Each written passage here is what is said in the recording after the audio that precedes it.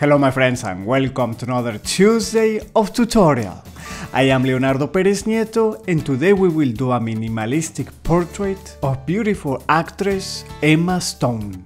We begin by sketching her enormous eyes, which is one of her main characteristics. They have a sort of an almond shape, although they curve a lot on the upper side.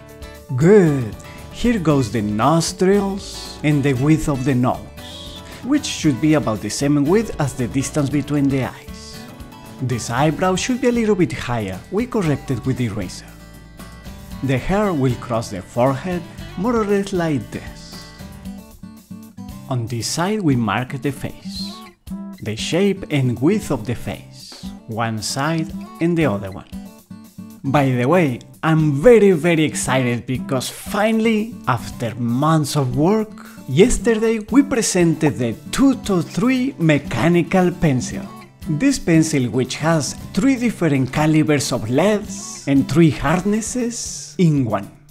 In order to find all the information about it or to get one, please click on the link below the video.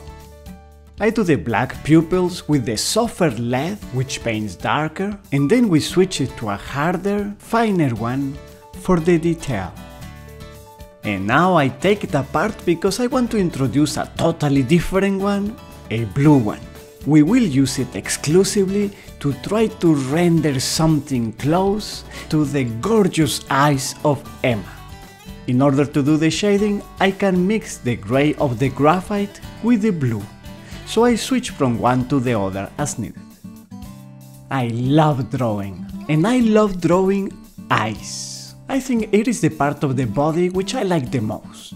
Or at least the one that I like drawing the most. and we do the lashes. Now she starts looking at us. we correct the shape of the eye on this side and we do it as it should be, more rounded. As this is a minimalistic drawing, it won't have all the detail and all the shading on the face.